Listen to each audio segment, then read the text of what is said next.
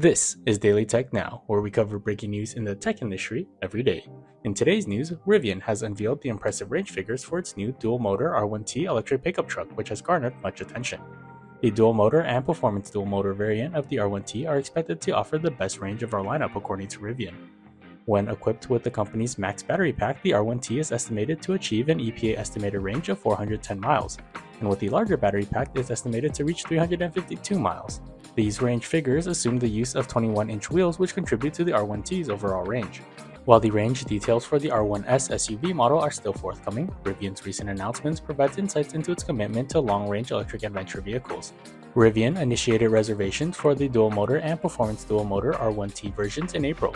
The company also hosted a test drive event for journalists at its factory in Normal, Illinois, showcasing its new Enduro drive unit that is now available across the lineup.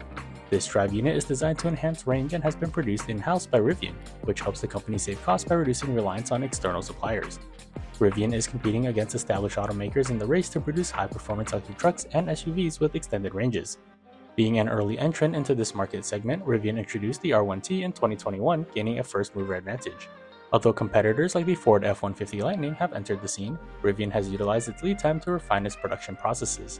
The company recently announced a substantial increase in production and deliveries for the second quarter of the year.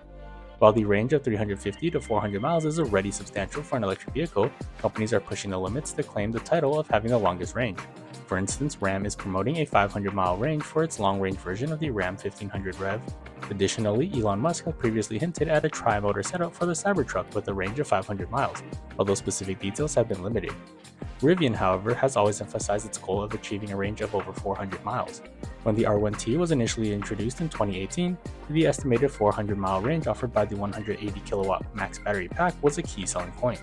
The standard large battery pack provides an EPA estimated range of 314 miles, but for Rivian's target audience of adventure off-road enthusiasts, even a few extra miles of range can make a significant difference.